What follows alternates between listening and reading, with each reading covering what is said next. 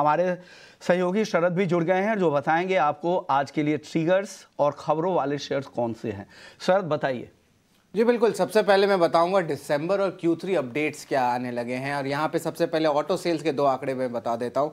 सबसे पहले Eicher Motors numbers जो हैं बिलो एस्टिमेट्स आए हैं और अगर देखा जाए तो sales seven percent year on year basis पे गिरावट आई है। वहीं अगर टीवीएस मोटर्स की बात करें तो 25 परसेंट का ईयर ऑन ईयर बेसिस पे ग्रोथ आया है और लार्जली इनलाइन देखने मिला है।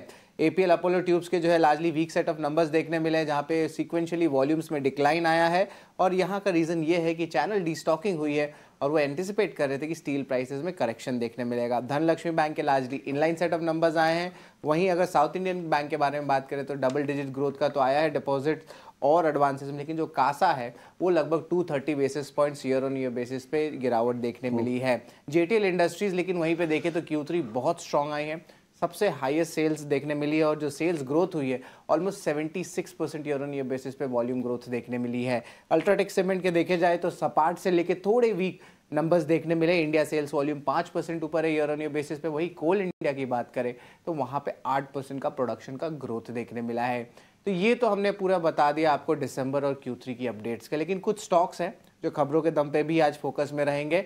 सबसे पहले आता है बी और कल जो था स्टॉक में तेज़ी देखने मिली थी। अब बी ने क्लैरिफिकेशन दिया कि जो उन्नीस हज़ार करोड़ का ऑर्डर उनको एनएलसी से मिला है। कंपनी अभी सिर्फ़ प्राइस बिड ही की है। ऑर्डर अभी तक नहीं मिला है। तो इस स्टॉक को ज़रूर रडार में रखिएगा। रिवर्सल देखने मिल सकता है। जोमेटो यहाँ पे हमने चेक किया ऐप में और यहाँ से पाया गया कि जो इम्पोर्टेंट उनके मार्केट्स हैं वहाँ पे उन्होंने जो है प्लेटफॉर्म पीस वो बढ़ा दिया गया है।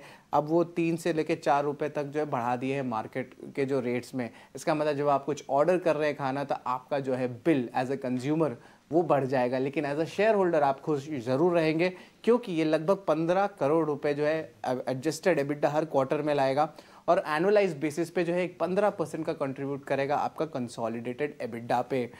करनेक्स माइक्रो सिस्टम है तो मार्केट कैप 900 करोड़ के नीचे लेकिन इंपॉर्टेंट बात यह है कि उनकी जो जेवी है उसमें लगभग 109 करोड़ का साउथ सेंट्रल रेलवेज का ऑर्डर आया है।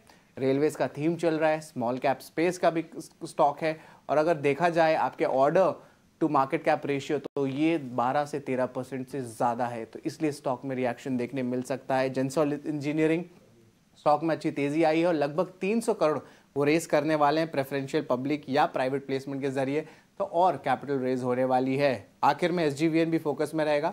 उनको डीपम से अप्रूवल आई है कि वो चार नए प्रोजेक्ट्स जो हाइड्रो रिन्यूएबल प्रोजेक्ट्स है, भारत और नेपाल के बीच, उसको वो स्टार्ट कर सकते हैं। तो पॉजिटिव न्यूज़ फ्लोज भी आ रहे हैं कुछ कुछ पावर सेक्टर में और इम्पोर्टेंटली क्यू थ्री अपडेट्स भी आने लगे हैं। ओके शुक्रिया।